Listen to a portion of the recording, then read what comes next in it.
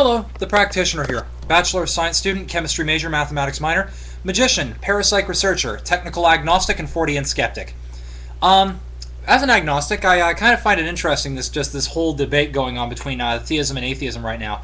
I mean, um, you know, I thought I found it interesting that some of the theists would actually call um, Dawkins and the like militant atheists. Um, actually, you know, I do agree uh, with applying the term of militant uh, in relation to religion right now to uh, the likes of Pat Buchanan and the like. Um, purely, uh, purely in the terms of vocal uh, vocalization. Um, but the only times that I would apply it to them or to Dawkins or anybody like that is when um, their argument style uh, slips into critical thinking fallacies. Now, fortunately, in Dawkins' cases, this is, this is extremely rare. Uh, I've only spotted a couple of instances of it, and I've sent him emails to uh, call to call him on it.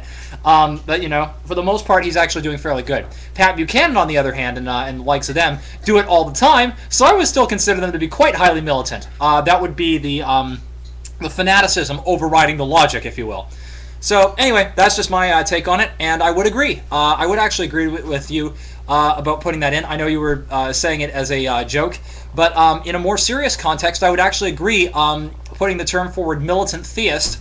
Um, or what have you, um, because uh, my my view of militantism, this is just personal, my own personal view, is that um, when fanaticism or when um, you know, you know, when overzealousness of a particular belief or or when an over when one gets overzealous in their particular idea, uh, and when the uh, when the zealousness or the or when they get carried away and um, their enthusiasm overrides their logic or their zealousness overrides their logic, then in my definition that is militant because that is part of what gives rise to actual militant you know terrorism or the you know or the religious wars or the like.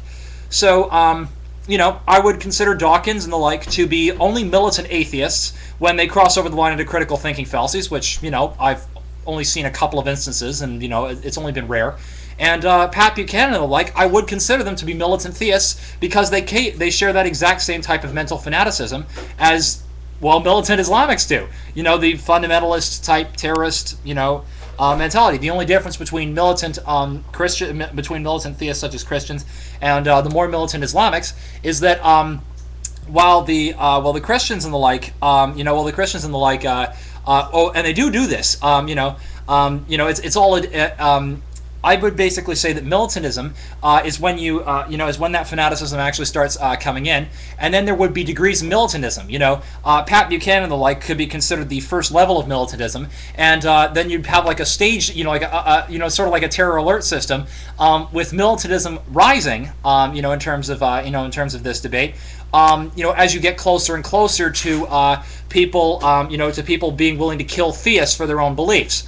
Um, you know, and stage three militantism in my book would be, uh, you know, willing to kill uh, based on your own idea. Um, for example, uh, for a um, for an for an example of stage three militantism in uh, atheism, uh, would be Stalin. Um, you know, one token example. Um, you know, he was the, uh, you know, in his own madness, in his own madness and his overzealousness in communism, he genuine, be genuinely believed it was a good idea to kill the priests in order to, uh, you know, to kill the priests in order to silence the uh, the oppressors of the of the people. You know, in his, you know, in his twisted mindset, he, he genuinely believed that was a good idea. So, you know, that, um, you know, I think he's a token example. Uh, you know, I, in in atheism and in, you know in the atheistic sector, uh, it's uh, considerably rarer that you get that you get this militant type mindset. Um, but it is there, and um, you know, and like the theists, I would you know I would equate um, Pat Buchanan, and uh, you know, and I would only equate Richard Dawkins with Pat Buchanan, um, only in the times when uh, he's crossed over the line into a really bad critical thinking fallacy.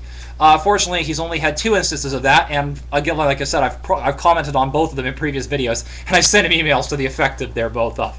Uh, you know, I think he's also been, uh, you know, I think he's also been commented on those before um, by other fellow scientists and the like, and he says in those cases he gratefully accepts the rebuke, and you know, it's no, it's neither here nor there. You know, he's a logical man. He just, you know, sometimes a little overenthusiastic. You know, tends to do that. And the same with Pat Buchanan, except in Pat Buchanan's case, he's a little bit more warped.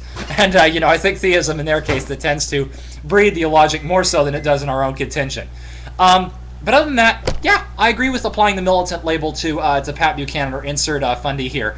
Um, you know, much as uh, one would uh, suggest the same to um, to Sam Harris or Richard Dawkins or others, but I would only apply it to them when they actually cross over to a you know to a critical thinking fallacy.